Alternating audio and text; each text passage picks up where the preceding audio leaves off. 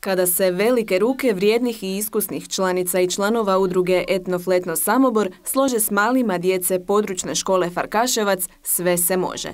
Mladi naraštaji tako su poučeni više manje tradicijskim vrijednostima i običajima samoborskoga kraja. Ovog puta na još jednoj božićnoj radionici koju je samoborska udruga priredila u svojim prostorijama na području bivše vojarne. Ispričaj mi što si sve danas radila? Čestitke, anđele, kapicu i kolače. Kako se to radi?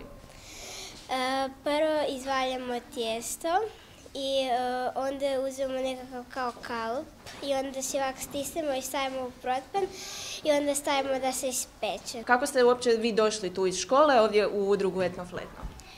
Moja baka je predsjednica udruge, udruge Etno Fletno koja je pozvala moj razred na božićnu radionicu. To znate da je sad ova pandemija ove, ove užasne bolesti, pa evo i dobili smo tri prostora da smo djecu smjestili po, po, ovaj, po tri prostora da ih nije na jednoj hrpici puno. Toliko nam je falio taj neki kontakt e, i, e, i druženje, dakle izvan naše razredne zajednice, e, jer eto suvremena nastava je od davno prerasla u učionicu. I dečki su se iskazali u priručnoj kuhinji. Ondje su vidjeli kako se mjesi tijesto te kako i sami mogu oblikovati kolače i pripremiti ih za pečnicu. Kiflice, medenjake i...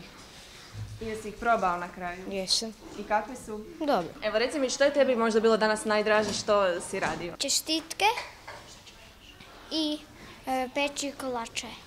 Zašto? Evo zašto, si, zašto voliš peći kolače? Za, zato su fine. I najviše mi se sviđa raditi kolače.